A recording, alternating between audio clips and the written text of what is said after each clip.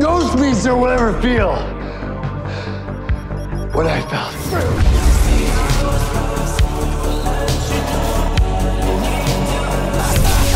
My daughter!